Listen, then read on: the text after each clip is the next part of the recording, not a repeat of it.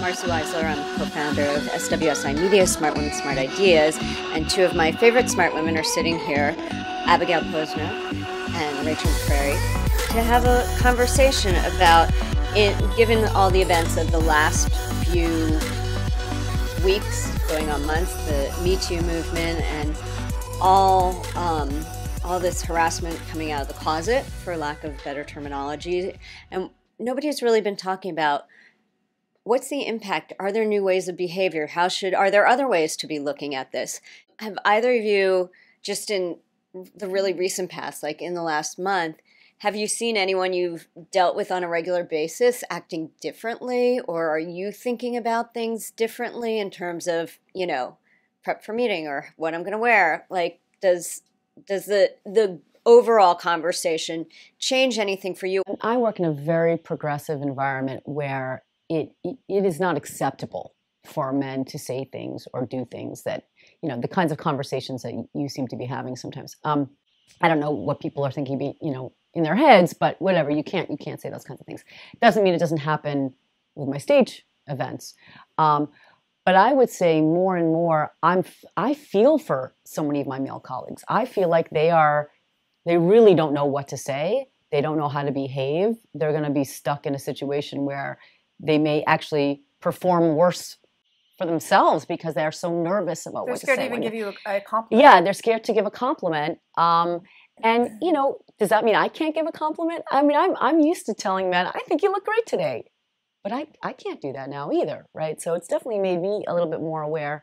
Um, I also don't want women to feel like they have to somehow squelch their femininity and squelch their sensuality because they have they now it's being opened up that so many men have taken advantage have taken advantage of it right? So now it's almost like because it's out there that it sounds like every man's a monster so many women may be going oh my gosh i probably even have to take that much more care of myself than I had to before because I know it's out there. And I feel I feel sad for that. I want to be able to myself and my friends to be able to relish in their femininity and in their sexuality, not in a way that's overwhelming and overcomes the situation, but in a way that makes everyone feel nice and confident and happy. Do you think that that exuding power in the workplace almost negates sexuality? Actually the opposite. I feel like mm. one of the reasons, I don't know if you feel this way, I think one of the reasons why men have become so uncomfortable with women's sexuality is that it's been coupled with power. So, in other words, like powerful women who are also sexy is just too overwhelming for them. They can't they can't take it. Whereas if a woman is sexy but diminutive or, or you know maybe not at a, a level that is you know of their level they can kind of you know dismiss it.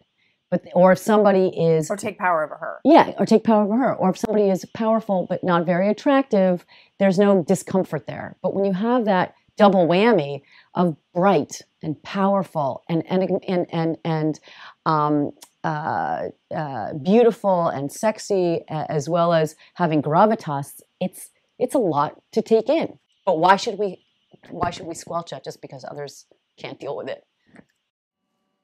You you look like you were going to add some. Um, you know, I mean, it's just to the to the point of like sometimes it works in your favor and sometimes it and sometimes it doesn't. And then, you know, with men, I have I have a male friend who's an investor who's scared to interview women entrepreneurs right now and and and needs to bring the receptionist in almost like a nurse at a doctor's office. And yeah. I think that that's sad you know? And i think that um, having someone else there observing can kind of can kind of prevent a sort of natural organic relationship. You can have intimacy with intimacy that's not sexual you know? I with most of the investors that i've had we've had an instant connection that has nothing to do with with sexuality. It's just as you would with a new friend or, or associate.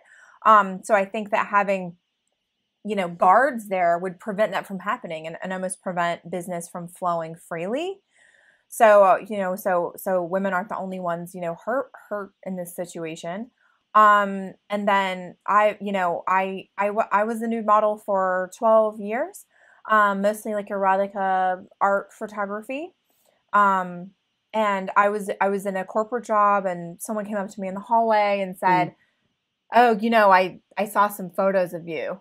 And, and I was like, I'm sorry. And he's like, you know, yeah, I, I saw some photos of you. And he was saying it in kind of a really slimy way to let me know that he sort of had something on me and that he like saw my boobs, I guess. And I was just like, oh, okay.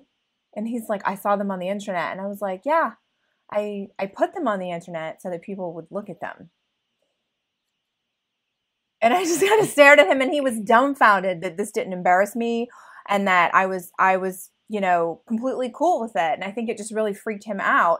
And it, has not, there would have been a totally different response if I would have been like, oh my God, like really, like I'm so embarrassed. Like, I'm not quite sure why someone would want to make someone else feel that way, but that's obviously what he was going for to have power over me. So I think when, you know, just, just the fact that I owned that myself and, and I took responsibility for it and I'm in charge of my body and my life, it turned the situation into a different conversation and in fact made him feel embarrassed. And on that, can you talk a little bit about, you know, as you said, you were out there because you wanted to, and it was erotica, and there's a lot, you know, there's a spectrum, and there's erotica, and there's pornography, and there's people putting things out there that you didn't consent to. Um, you know, how do you see a situation like yours empowering women today if that's what they're interested in doing? Yeah, you know, I've always loved um, nude art photography and and you know used to be in the circle with with all of that and um, I was shot by Terry Richardson. I never had an issue with him, but I know many people have. Um, but why is you know David LaChapelle coffee table book nudity viewed in a different way than um, ladies who dance or um, you know pornography or something like that. You know it's a pretty fine line but it's viewed in a completely different way. And i think that it's up to us as women to not judge other women and to empower all of them for whatever it is that they choose to do with their body and their life. And i think it's interesting what a different connotation and association we have between porn and erotica. Thank you, Rachael McCrary and Abigail Posner.